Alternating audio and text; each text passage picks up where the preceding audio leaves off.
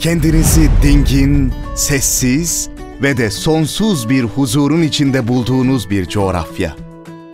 Burası Ender'in ilçesi. Yeni Şarbademli. Türkiye'nin en karanlık gözlem noktası ve kamp turizminin lideri Melikler Yaylası. 2998 rakımıyla dağcıların vazgeçilmez adresi Dedegöl Dağı. 16 kilometrelik uzunluğuyla Avrupa'nın en büyüğü ilan edilen Pınar Gözü Mağarası. Serin suları, yeşile bürünmüş toprakları ve gölleriyle bu muhteşem doğa sizi davet ediyor. Isparta Valiliği